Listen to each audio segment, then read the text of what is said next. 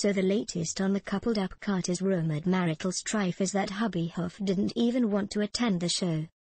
He only went to keep the rumors in check. According to Bang Showbiz reports via Rhymes with Snitch, Jay-Z reportedly didn't want to attend the MTV Video Music Awards. The rapper, whose marriage to Beyoncé is reportedly on the rocks, originally didn't plan to attend the ceremony with their daughter, Blue Ivy, too, last Sunday but felt he had no choice in the end. A source close to the Empire State of Mind hitmaker said, Jay didn't want to go, but it would have confirmed rumors.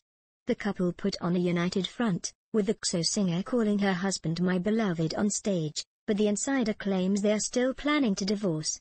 The source said, they are splitting in a few months. Even Bey calling Jay my beloved was pre-planned.